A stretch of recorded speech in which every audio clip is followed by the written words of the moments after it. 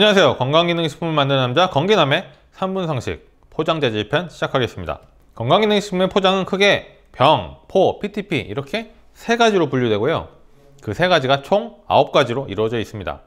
9가지 이외의 포장도 있을 수는 있지만 99.999%가 9가지 중 하나로 되어 있고요. 제품 표시면에 포장 재질이라는 항목으로 표기되어 있습니다. 참고로 일반 비닐이나 종이 케이스 포장은 9가지 중 한 가지로 1차적으로 포장을 한 후에 2차 포장부터 사용이 가능합니다. 그럼 9가지를 하나하나 살펴보면서 각각의 등급을 정해보겠습니다. 먼저 병입니다. 병은 유리병, 알루미늄병, HDPE병, 페트병으로 나뉩니다. 유리병이랑 알루미늄병은 공기나 습기가 아예 통과를 못합니다. 포장 재질 중에 가장 안전한 포장이라 두 가지 모두 A 플러스로 점수를 매기겠습니다. 반면 HDPE와 페트로 만드는 플라스틱 병들은 좀 다르겠죠? 얼마나 두껍게 병을 만드느냐에 따라 차이가 있겠지만 일반적으로 HDPE 병이 페트병보다 더 좋습니다. A와 A-로 표기하면 되겠네요. 다음은 PTP 포장입니다. 이렇게 낱알 포장되어 있는 것을 개별 PTP 포장이라고 하는데요. PVC 플러스 알루미늄, PVDC 플러스 알루미늄, 그리고 알루알루 이렇게 세 가지 형태로 나뉘는데 제품의 포장 재질을 보시면 이 세 가지 중 하나가 써 있습니다. 자, 이 세 가지 모두 밑면은 알루미늄이에요. 습기나 공기가 절대로 들어갈 수 없는 매우 안전한 재질이죠. 그런데 문제는 윗부분입니다. 윗부분까지 알루미늄인 알루알루 포장은 위아래가 모두 알루미늄이라 가장 안전하고요. A 플러스네요.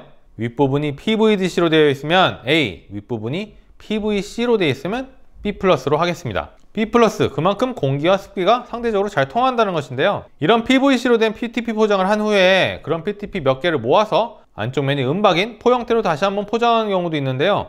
그런 것들은 이중으로 포장이 된 거라 A등급이 되겠습니다. 제가 3분 상식 캡슐 편에서 식물성 캡슐의 투기도, 즉 공기가 통하는 정도가 동물성 캡슐보다 최대 200배까지 좋지 않다고 했죠. 그런데 식물성 캡슐로 만들어진 오메가3 제품을 PVC 플러스 알루미늄으로 된 PTP 포장에 넣으면 소비자가 보관하는 기간이 길어질수록 오메가3가 산패될 확률이 높은 것입니다. 식물성 캡슐로 만들어진 오메가3 제품을 PVC 플러스 알루미늄보다 더 좋은 PVDC 플러스 알루미늄으로 PTP 포장을 하면 보다 좋겠죠? 요즘 유행하는 크릴오일도요 PVC 플러스 알루미늄 재질로 PTP 포장되는 것들은요 시간이 지나면서 캡슐 속에 있는 크릴오일이 살짝 굳을 확률이 매우 높습니다 유산균도 마찬가지입니다 제가 유산균 상식편에서 유산균의 천적은 습기라고 말씀드렸는데요 캡슐로 만들어진 유산균 제품을 PVC 플러스 알루미늄 재질로 PTP 포장을 하면 완벽한 포장이라고 할 수 없습니다. 유산균 제품도 PTP 포장을 할 거면 PVC가 아닌 PVDC 혹은 알루알루로 해야 합니다. PTP 포장 다음은 포입니다. 포로 된 포장은 포가 길면 스틱포라고 하고요. 이런 식으로 네모난 것들은 보통 3면포 또는 4면포라고 합니다. 이런 포로 된 포장은요 안쪽 면을 보면요 은박처럼 되어 있어요. 바로 폴리에틸렌이라는 것입니다. 제품의 포장 재질 표시에 폴리에틸렌 또는 PE라고 표기되고요. 등급은 A 정도 되겠습니다. 과자 봉지 안쪽 보면은 은색으로 되어 있죠? 그거랑 같은 거예요. 이게요, 과자 봉지에 쓰일 때는 A 플러스인데 이런 easy cut에 적용된 스틱포에 사용되면 A 플러스가 아닌 A예요. 왜냐하면 스틱포의 특정 부분 혹은 전체가 잘 찢어지게 하기 위해서 눈에 보이지 않는 구멍을 만들기 때문입니다. 작은 구멍이 오밀조밀하게 모여 있어서 잘 찢어지는 것이에요. 모르셨죠? 이런 포 형태는요, 간혹 포장 과정에서 밀봉이 잘 안 되는 경우가 있고 이지컷 부분에서의 불량 때문에 제품이 변질되는 경우가 있는 것도 알아두셨으면 합니다.